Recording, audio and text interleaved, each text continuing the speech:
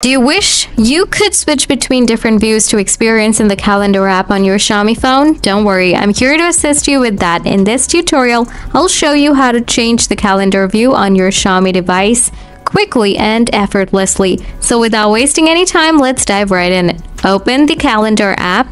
Look for the view options at the top. It might look like a grid icon. Then tap on that. Next, you will find four different view options. Month view shows a full month's overview. Week view displays a week schedule. Day view shows a detailed schedule for a single day. Events view lists even the chronological order. Select the view you prefer. And that's all for today. Now you know how to change the calendar view on your Xiaomi phone to fit your preferences. Whether you prefer a daily overview, a weekly glance, or a monthly calendar, customizing the view is quick and easy. If you found this tutorial helpful, don't forget to give it a thumbs up, subscribe for more tips and tricks, and hit the notification bell so you never miss an update. Thanks for watching, and I'll see you in the next video.